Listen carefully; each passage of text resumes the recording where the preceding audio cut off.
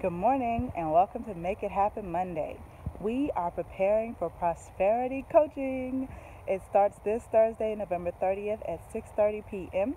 It's our free session, um, and only those who are involved in the free session will be invited to uh, continue prosperity coaching for either six months if you have an existing business or a year if you have a new startup to make sure that we're able to take you completely to success.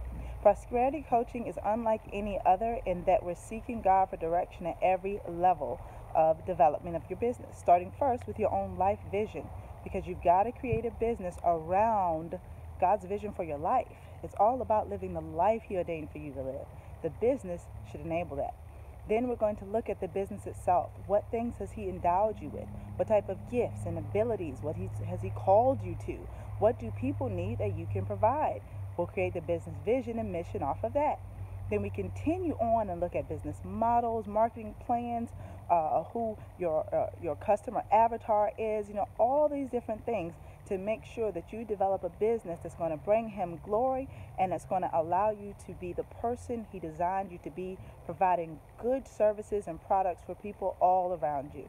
When he blesses you because you're operating in his will for your life and your business, you will be positioned to be a tremendous blessing to others.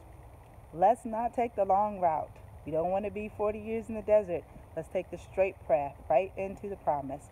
So join us this Thursday so that we can seek God together, can share with you some of the experiences and wisdom He's given me, and we can move forward into success for you and advancement of His kingdom.